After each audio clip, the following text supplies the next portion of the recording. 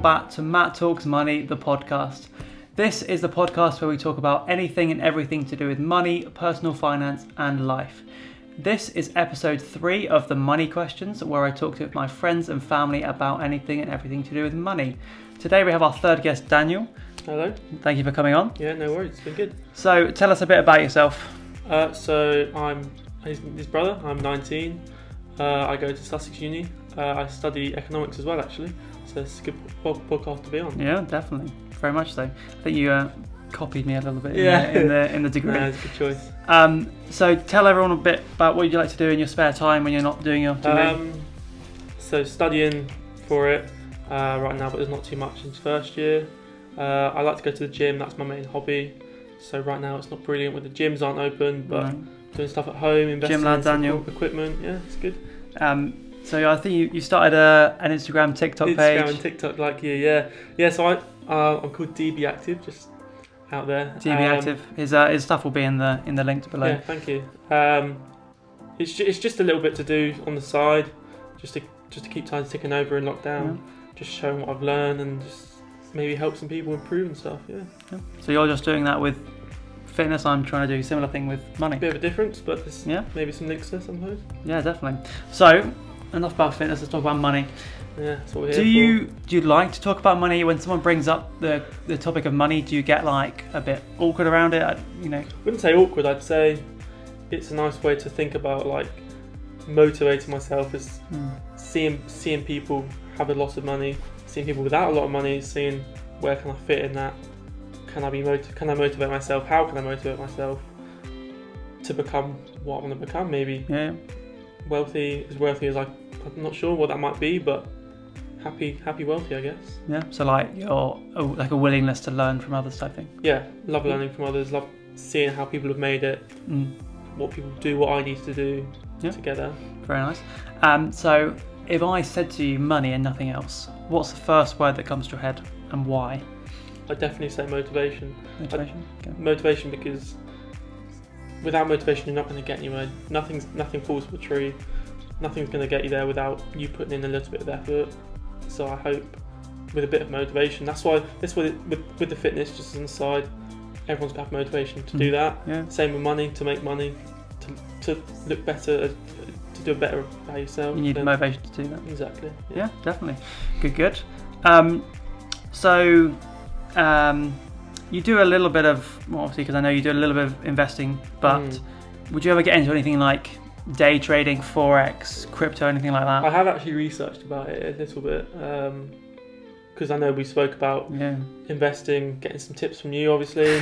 um, but day trading, I think, is really risky. I know there are bots out there you can you can pay, you can Yeah. get do it for yourself.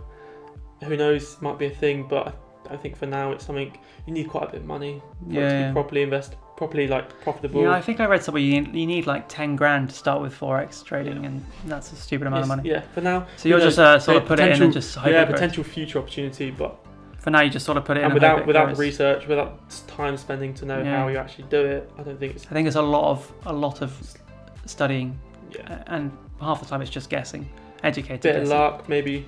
Mm. It's not. I don't think it's worth it right now. Yeah. All right, so that's that. That's the forex trading bit done. Um, thoughts on a credit card? I know this is a quite a recent thing for us. Yeah, recently, I think you got it same age as me, nine, 19. I'm Yeah. 19, so I bought, I got mine really recently. Uh, I did it just to improve my credit score, keep my credit Mm. score high. Um, so I'll put all my uni bills, anything on it.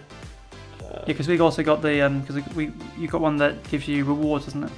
yeah, like uh, British Airways miles and stuff. So I think because it. You Yeah. go. You go. you can get you can get credit cards with loads of benefits on it as a student and stuff. So Mm. picking the right credit card, I definitely think it comes with, as well as increasing your credit score. I definitely think there are perks to it as well. Yeah, see, I didn't I didn't realise this until about a year ago, but you know, spending ten pounds on your debit card has gives you no rewards, but spending ten pounds on a credit card could give you like ten or so avios. Yeah. And when, when people went- hear the word credit card, they obviously go like, "That's a bad." That they, yeah, why, yeah. why do you think that is?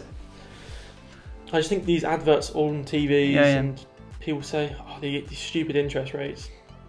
It, it just gets in people's heads like, "Oh, they associate straight away with bad things." Hmm. But if you if you're careful and then you, you put things on your credit card because you mean to, Uh, not because you can't, not because you can't afford them, just because you know you can pay them off, and, Yeah. then, and then you can increase your credit And score. then if you pay it off at the end of the month, it's fine. Yeah, exactly. Yeah. Well, better get spending on the credit card. Yeah, no, I will be. Um, so we've done credit cards. What about um, property? Any thoughts about Mm. getting into property later in life? Obviously, I know it's a bit early. at Later in life, I was going to say. Yeah. Um, yeah. I mean, a thing I find quite interesting is like real estate, like invest, buying a property, redoing it to a Mhm. certain degree, and then selling it on for profit, and just So you buy like a really manky looking house, yeah, I mean, it. one that can be done up. Yeah, yeah. Um, Like buy it for like 100k, sell it for 200k, something. yeah, I mean, that, that's a that's a dream. That'd be a great Yeah. that'd be a great source of income. But Would you do that personally, or would you like, obviously hire other people to do that? Or depends what I, depends what I enjoy. I haven't I haven't started. I haven't really looked into it. Yeah. But I know people can get a lot of money from it. So Yeah. if I find it interesting, then yeah. yeah, definitely. I think my my thoughts on property is more like oh, like a passive, uh, like a landlord type thing. That's a bit more passive. Buy a house, rent it out, get the Yeah, when you get the rent to pay the not, mortgage. Too, not too hands on, not No. too like, know. I think, um, but if I can have you know three or four of them, then Yeah. that could pay for my mortgage. Then Yeah. you know that's not bad at all. So talking about the future, um, Mm. I think you. I don't think I- the last time I've seen you with cash. You know, because I think especially our era, like It's all online. It's all online. It's all mobile mobile banking, online so. banking. Do you reckon in you know when me and you have kids in you know, so many times in so many years, do you reckon coins will eventually be dead? Yeah, I think so. I think I think they're off. I think we're talking. We were talking about crypto. Potentially, everyone does online banking. Uh, you got everything on your phone now. All your Mm. bank cards on your phone. You won't even need a wallet really. It's all, No. it's all on your phone. I think by the time we're 70, 80, I think crypto will be the main currency. Well, currencies, you know, I agree. because it's so easy to, you know, you, I could send money to, I could send crypto to someone in, you know, the middle of India, just with a number, Yeah, and then Yeah. there's no fees, Yeah. or hardly any fees. agreed. All right, so that's the that's the future of money. Maybe we'll see what happens when we're uh, 70. Um, talking about the future and later in life, um, you sometimes see people's aspirations to be like financially free. Mm. what would be like your interpretation of that? Would you like to be, you know, when would you like have a, have enough free. money to think, yeah, you know, you're free type thing? How much money? How much money? That's a hard question. Okay, what, Um, what what things in your life would be in place? Mortgage paid off. Yeah. Steady income. Steady's a. I'm Not sure. likely to get like laid off anytime soon, sort of thing. Yeah, yeah. happy. Well, happy's a word that can't really be defined, but like Yeah. a job where I'm feel I'm comfortable in. I'm going to be there for a while. Maybe have some promotion opportunities. Mm-hmm. Uh, I'm not sure. Just comfortable. Have steady income.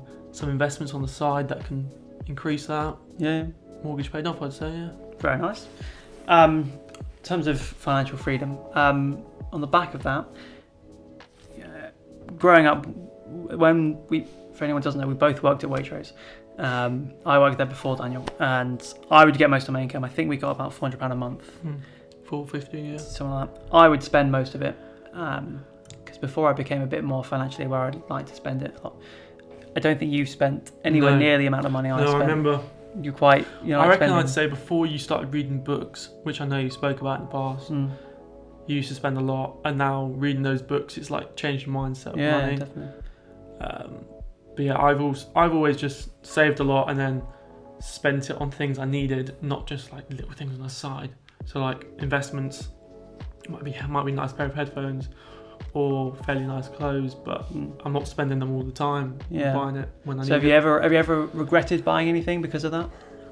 No, you've always been like, I really definitely want this before I'm going to buy it. yeah, no, Yeah. I have to really like something to actually buy it. Yeah. I think though, in a way, like me, I think I can't remember what it was, but I definitely regretted buying something. But then I learned a lesson from that, as in like Yeah. to never do Sometimes, that again. sometimes that's got to be the way. yeah, Sometimes learn from your mistakes. Exactly. So, um, in terms of uh, dream job, any ideas what a dream job would be? I should know one now. I don't No, know. no, I don't know. I, you know I don't, I don't know. No, I mean, you've got the Just real estate you- thing. You've got. just something you enjoy. I do like. I do like seeing stocks go up. I do like. Seeing like, Who doesn't, like mate? that, but then it's a hard job. Yeah, It's a stressful job. So, quick question on that: Would you rather be in a job you enjoy with a lower income, or a job that paid really high but gave you lots of stress and you had to work really long hours? I, uh, it's going back to that stock, that idea of an investment banker kind of Yeah. thing being a second choice. I'd, I'd have to, with that, with the thought of that long hours, stressful hours, maybe if you have a partner or something, it might become problematic that way. yeah. I'm gonna have to go for the enjoyment Yeah. medium. I think it income. depends on the level of stress. It does. If, When if you it- when you said longer hours, I thought that's a that's a problem. yeah, if you're working, you know, 40 hours, that's not too bad. Yeah. If you're working 80 hours, it's a yeah, it's a bit difficult. So, tough question. Well, not, not not tough for you actually. More tough for me. Hmm.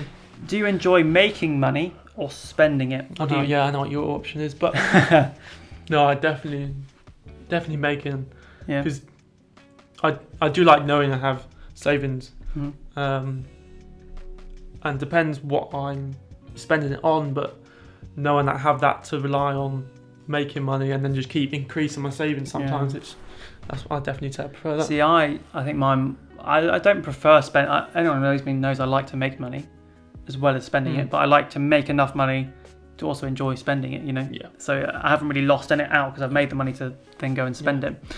Um, That's what money's there for, I guess.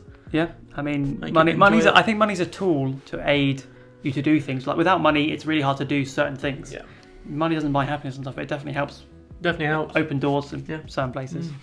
So, if I was to give you some money, let's say, let's say I had ten grand to give you, but you had to start a business with it, what would you go into? Would it be would it be the real estate? No, not the real I'd- estate. I we can't really go over Mm. ten grand. Yeah, I'd maybe. Mm, I've, I have. Yeah, something to do with what I enjoy. So gym right now. Yeah. So what would you do with ten grand? What would you Another Ben Francis kind of Gymshark? entrepreneur, kind of. Well, yeah. He's quite young, isn't he? I think he's like Mm, twenty He's something. like 27 or so. He's done really well for himself. would you create your own like gym brand? Yeah, I love gym shop. Gym training plans, Yeah. maybe some clothing, some yeah, just some products and gym equipment. Promote it on Instagram, Create a website, TikTok. TikTok, 100%. Become uh, famous on TikTok. And then who knows if that grows, then get into something else like what we said, yeah. real estate. So I think I think having a lot more incomes, more just more than one income, one income, Yeah. is definitely definitely better. So you would um, would you do you have any plans to you know do the typical? I don't know if you thought about it. The typical retiring at sixty-five, then doing crosswords all days. Would that bore you to death? Do that, does that excite you? I don't know. 65 is quite young. Yeah. Maybe maybe 10 years on that. I think it's quite young if you're doing a non-labor intensive job. If you're doing Yeah. like you know a builder or a bricklayer, it's quite intense to Mm. do. But I agree. I think Depends, depends what job. Who knows what job I'm gonna have? I think then- your job will do something to do with your mind. You know, Yeah. using so that, that that will. I think you can carry on that for a while afterwards. Yeah, I mean, yeah. If it's not too intense. Oh, I don't, actually, cut- that's a good question. I wonder how how long you'll keep gymming it. Yeah, At what point I'd are you love- saying? I love to keep training 60 till 60. Your Yeah. body's your body's gonna obviously look different. You have to you have to cut down maybe two three times a week, Yeah. but just keeping up that fitness. When do you reckon it's gonna like you know? Yeah. Obviously, because now you're like prime sort of thing. Yeah. When does it when does it start to turn? What 30, 40? I don't 30, know. 40. I mean, lifestyle choices depends who I'm with, what Yeah. job I have. I have to cut down the hours, cut down the time I spend in the gym. Motivation might fade off as with Yeah. work, too much stress. I don't know. So Don't that'd be interesting to see actually. When you're still at sixty, just like still Still going, still going to the gym. So final two questions. Um, I've asked the the previous two guests. This is quite an interesting question. I've actually asked this one, but the one after this. Would you rather have a shot at a 50-50 shot at one billion Billion. pounds, or a guaranteed million pounds right now? So fifty percent chance of getting a billion, which is obviously a lot. more than a million, or guaranteed million. So I'd say here you've got two arguments. You've got why not go for the shot? Because if you miss it, you haven't lost anything. True. You, you're back to where you were, which if it's not a terrible position, then it's fine. Yeah. But then you've got the other shot of having a million straight away in your bank account to do whatever you want with. Mm. A lot can go to charity, a lot can go to investments, a lot can go on paying off any university debts, yeah. paying off, putting a mortgage, putting a mm. applying for a mortgage. So uh, what would you do? Uh, I bet if you took the the, the, the lottery of 50-50 and you lost, you'd be so gutted. You think, yeah, I've, I could have just had a million in my account. But then, could you, if you took the million, could you live with yourself thinking I could have had a billion? I, I think I think I'd be more happy to see my investments grow hmm from the one million. So you take the million, invest it, and watch it grow. Watch it grow. I think I'd be happier to see that than have nothing and then be like, I could have invested so much more. Yeah. So final question. Now that you've said you take the million, what would you do roughly with that million? Right.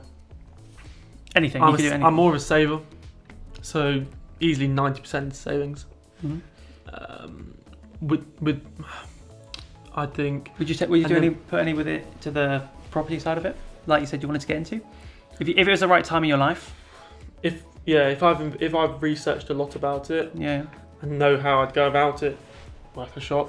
yeah, I mean, it, a million's a lot of money to comprehend, but yeah, it's a lot of money. Um, investments I think is the way to go. Yeah. Would Steady you- Investment. Is there anything you would go and spend just for the sake of having so much money you'd go and buy? There's got to be something car, nice car. nice car. I think cars. I don't think cars are great No? purchases. No, they're not. They're not. They're not very good economic decisions, but they look cool. They look cool. What would you? What would be your dream car? McLaren 720. Yeah. How much is that going to cost you? 208k. Yeah, but well, that's a, that's that's I think that's quite a lot you of your can't buy million. a car like that in the UK. That's quite a lot of your million, but yeah, you can't really use it on the back roads of Wokingham, can you? No. No. I think moving to, a, let's say, America, Yeah. um, I think of cars a potential investing investing opportunity, but not right now. No. Um, so that's what you do with a million pounds. save, house, Invest. invest, look at properties, enjoy. Very nice. Yeah. Well, thank you for coming on. It's been a pleasure. Yeah, it's been good. It's actually been Um, exciting to yes. understand how this works and how you've grown this and how it's going to get started. I wonder what what will happen in uh, in sixty years. No, Six years. no, forty years. Whether you're still training and I'm still doing something to do with money. We'll see. We will be. We'll see. We will. Uh, thank you for watching, listening, guys. Um, the next episode, uh, my girlfriend Emily's going to be coming on. That should be interesting, shouldn't it? Um, but yeah, thank you for watching as ever. Um, if you enjoyed the content and you're watching on YouTube, please give it a like, uh, subscribe, and comment. And I'll see you guys in the next episode.